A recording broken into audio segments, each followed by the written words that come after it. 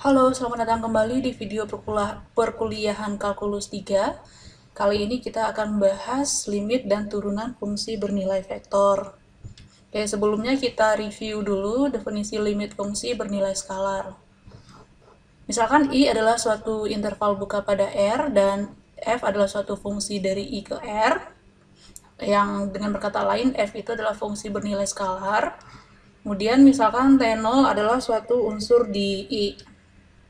Nah, kita katakan limit dari ft dengan untuk t menuju t0 itu sama dengan L jika untuk setiap epsilon besar dari 0 ada delta besar dari 0 sehingga jika jarak dari t ke t0 itu kecil dari delta, maka jarak dari ft ke L itu akan kecil dari epsilon.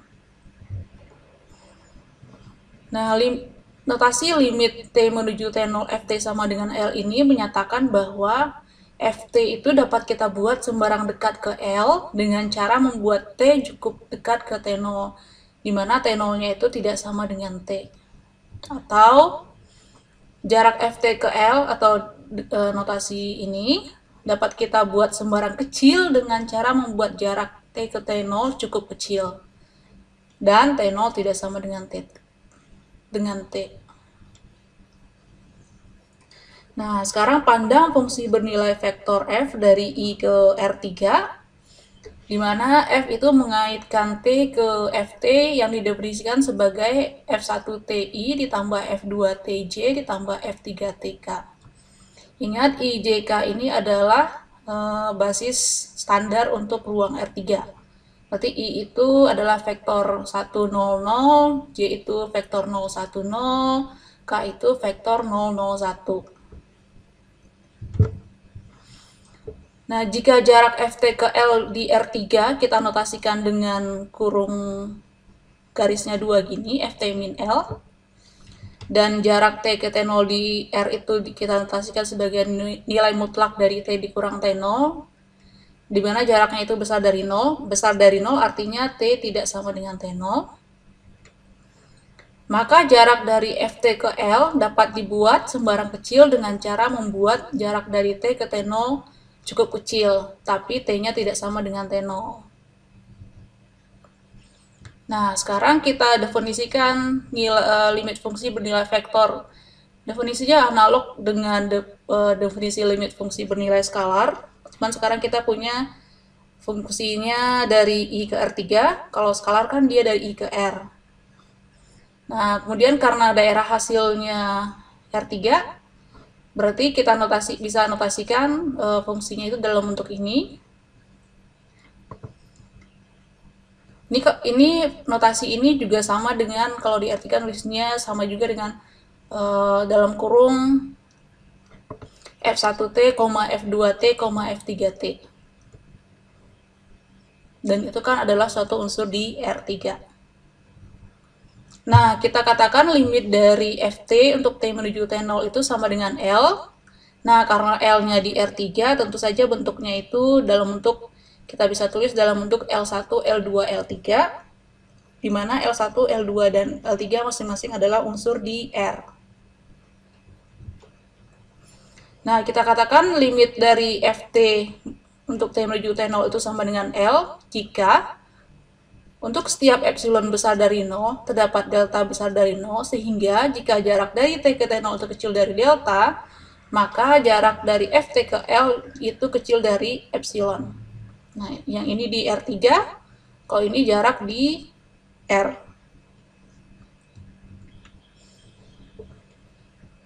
Nah, kalau jarak dari ini, kalau jarak dua buah titik di R itu kan bisa ditulis sebagai e, nilai mutlak. Misalnya jarak dari T ke T0 kita notasikan sebagai nilai mutlak dari T dikurang T0. Nah, bagaimana dengan jarak dari FT ke L di R3 kalau sekarang? Atau di Rn secara umum. Nah, kalau di R3, jarak dari FT ke L itu kita notasikan sebagai, karena L-nya adalah L1, L2, L3, maka jaraknya itu adalah akar dari, pertama F1 T dikurang L1 dikuadratkan ditambah F2T dikurang L2 dikuadratkan ditambah F3T dikurang L3 kuadrat. kalau kita punya misalkan kalau seandainya kita ngomongnya di R2 berarti ini cuma sampai L2 maka jarak dari FT ke L itu jadinya adalah F1T dikurang F1 kuadrat ditambah F2T dikurang L2 kuadrat. Akar dari itu. Nah, karena kita sekarang ngomongin R3, maka jarak dari FT ke L bisa kita tulis seperti ini. Kan FT-nya ini ya, FT-nya ini. Nah, jaraknya itu ya ini, F1T dikurang L1 dikuadratkan akar gitu ya ditambah uh, F2T dikurang L2 dikuadratkan ditambah F3T dikurang L3 dikuadratkan. Oke, lambang T menuju T0 menyatakan bahwa T0 tetap dan T bergerak menuju T0. Tapi T-nya tidak sama dengan T0. Dan juga menyatakan bahwa ada ukuran jarak dari T ke T0 dan jarak dari TT0 itu akan semakin kecil dalam proses yang tak hingga. Pokoknya dia semakin lama semakin mepet dari jarak dari T ke T0 tersebut. Nah, begitu juga dengan lambang FT menuju L menyatakan bahwa L-nya itu tetap dan dan FT-nya itu bergerak ke L seiring dengan T-nya bergerak ke T0. Dan juga ada ukuran jarak dari FT ke L dan Jarak Ft ke L juga akan semakin kecil dalam proses yang tak hingga. Oke, sekarang kita lanjutkan ke sifat limit fungsi bernilai vektor. Diketahui fungsi bernilai vektor f yaitu uh, yaitu satu fungsi dari i ke r3 dengan ft sama dengan f1ti ditambah f2tj ditambah f3tk untuk setiap t di i. Dan misalkan pula t0 itu adalah suatu unsur di i. Maka yang pertama kita punya sifat bahwa limit T menuju T0 dari FT itu sama dengan L jika dan hanya jika limit T menuju T0 dari F jarak FT ke L itu sama dengan 0. Yang kedua, limit T menuju T0 dari FT sama dengan L di mana L-nya itu adalah sama dengan L1, L2, L3 itu berlaku jika dan hanya jika limit dari T menuju T0 FIT sama dengan LI dengan I untuk setiap I-nya 1, 2, 3 kan FI ini fungsi komponen dari si FT nah limit fungsi bernilai vektor ini tunggal ini sifatnya analog dengan sifat-sifat fungsi bernilai skalar ya. Silakan kalian cek lagi. Jadi karena dengan menggunakan sifat-sifat ini kita bisa memanfaatkan info dari limit fungsi bernilai skalar untuk membuktikan uh, atau mengerjakan soal-soal terkait fungsi bernilai vektor. Oke, berikutnya kalau f itu adalah adalah fungsi bernilai vektor dengan ft sama dengan f1i ditambah f2tj ditambah f3tk dan t0 elemen i. Kemudian jika limit dari ft untuk t menuju t0 sama dengan l dan limit dari gt untuk setiap t menuju t0 sama dengan m, maka hasil penjumlahannya itu adalah penjumlahan limitnya. Begitu juga dengan pengurangan apa bedanya sih kalau yang kiri dan kanan? Kalau yang ini kan kita jumlahkan dulu fungsinya, baru kita hitung limitnya, dan ternyata itu sama saja dengan ini bisa kita kalau dalam aljabar ini bersifat linier. Berarti kan ini maksudnya adalah limit T menuju T0 dari FT ditambah GT itu sama dengan limit T menuju T0 dari FT ditambah limit T menuju T0 GT. Nah, limit T menuju T0 FT kan L, dan limit T menuju T0 dari GT sama dengan M. Begitu juga dengan untuk pengurangan dan perkalian, serta perkalian dengan skalar. Beda ya yang ini dengan yang ini, kalau ini kan dua buah unsur di R3 yang kita kalikan. Kalau ini dot product ya, kalau sementara yang ini adalah perkalian dengan skalar. K-nya ini ada di R, dan FT kan ada di R3. Kalau yang ini di FT di R3, GT juga di R3. Ini yang kita lihat ini adalah dot product.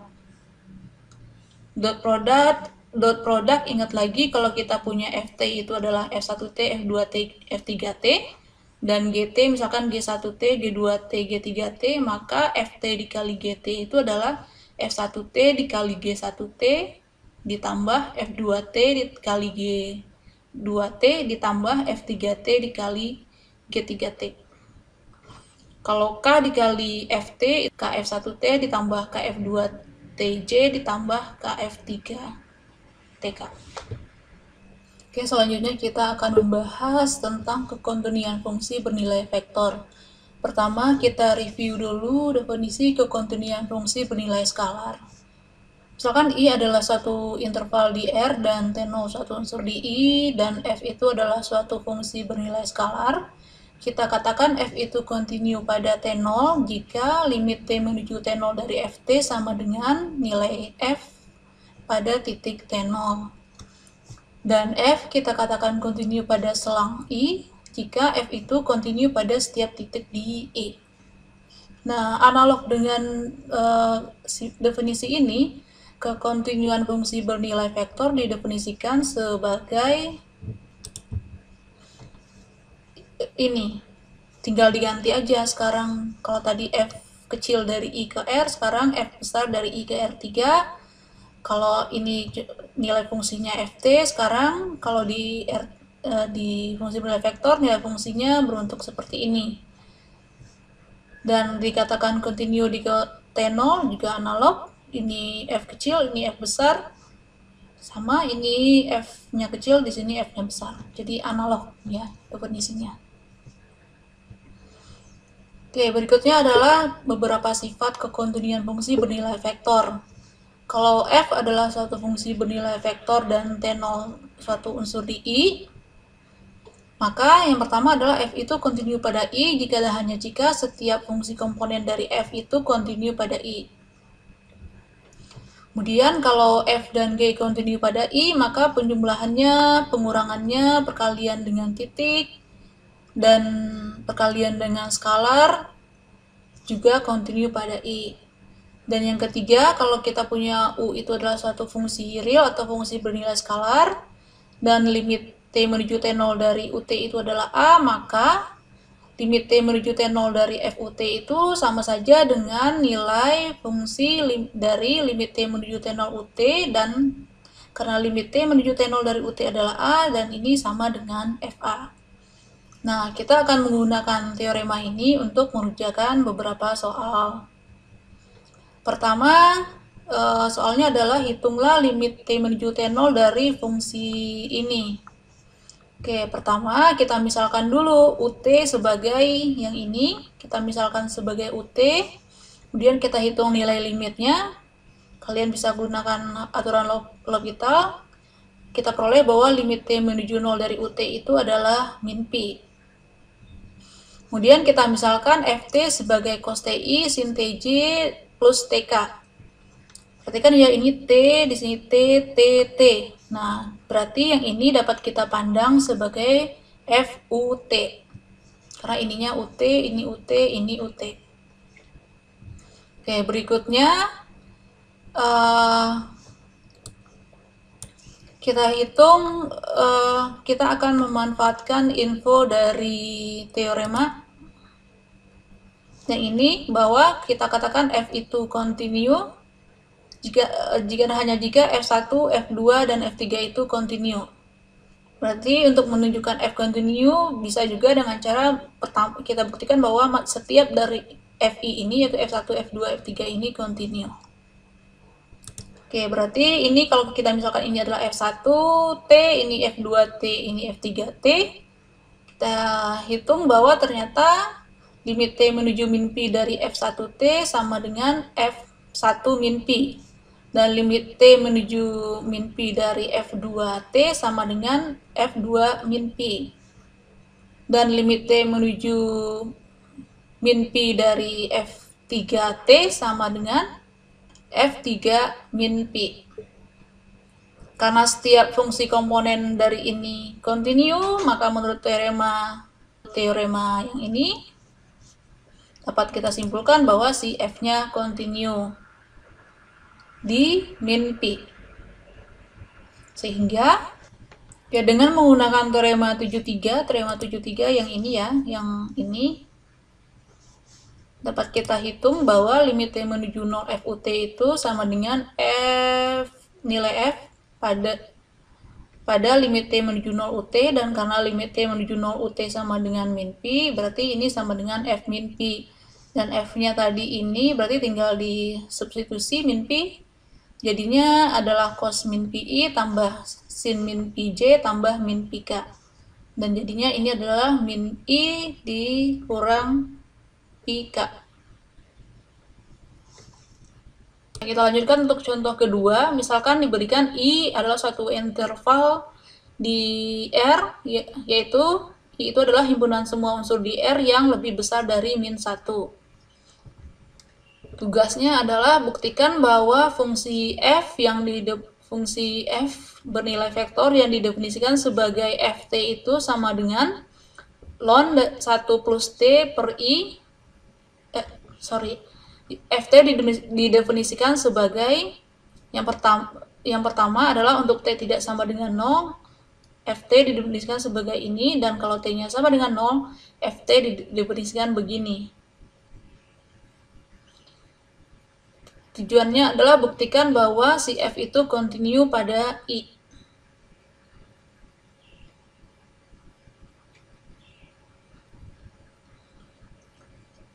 Pertama kita misalkan uh, uh, FI untuk I123 itu adalah suatu fungsi bernilai skalar. Dengan daerah asal itu adalah I dikurang 0 Yang pertama F1T kita definisikan sebagai uh, F1T itu adalah fungsi komponen bagian pertama dari FT yaitu karena daerah asalnya itu tidak tidak memuat 0 berarti kita pilih yang yang ini maksudnya ya. Yang ini kita definisikan sebagai F1T ini F2T dan ini sebagai F3T Nah, kalian bisa cek sendiri bahwa nilai limit dari masing-masing fungsi ini untuk T menuju T0 dengan T0-nya itu adalah sembarang titik di daerah asalnya ini itu nilainya fungsi nilainya sama dengan e, nilai fungsi tersebut pada titik T0. Maksudnya adalah kalau limit T menuju T0 dari F1T itu sama dengan F1 T0 dan limit T menuju T0 dari F2T sama dengan F2 T0 dan limit T menuju T0 dari F3T sama dengan F3 T0. Karena berlaku ini, maka masing-masing dari F1, F2, dan F3 itu continue pada interval ini. Interval I dikurangi tanpa dikurangi titik 0. Nah, tugasnya tadi kan adalah kita ingin buktikan bahwa si F yang besar ini dia continue pada setiap titik di I. Nah, kita sudah tahu buktikan bahwa dia continue pada sembarang titik ini. Di i dikurang 0 berarti sekarang kita tinggal buktikan bahwa si f juga continue di 0 kita ingin memanfaatkan teorema yang ini. Oke, pertama kita perhatikan bahwa limit T menuju 0 dari F1T itu adalah 1 dan limit T menuju 0 dari F2T adalah min 1 dan limit T menuju 0 dari F3T itu adalah 2. Maka limit T menuju 0 FT adalah limit T menuju 0 F1TI ditambah limit T menuju 0 F2TJ ditambah limit T menuju 0 F3TK. Nah, ini kita sudah hitung ini adalah 1 berarti 1 kali I1 kemudian yang ini min 1 min 1 kali J min J dan ini adalah dua. Oke, dan ini sendiri di soal kita adalah ini ya CF0 nah karena limit T menuju T0 FT sama dengan F0 maka si F juga continue di 0 tadi kita sudah buktikan F continue di I kurang 0 dan sekarang kita punya I juga continue di 0 berarti F continue di setiap titik di I uh, pembahasan tentang limit dan turunan fungsi bernilai vektor. Silakan tuliskan pertanyaan atau kalian ingin mengerjakan soal. Silakan tuliskan di kolom komentar. Sampai ketemu di video berikutnya.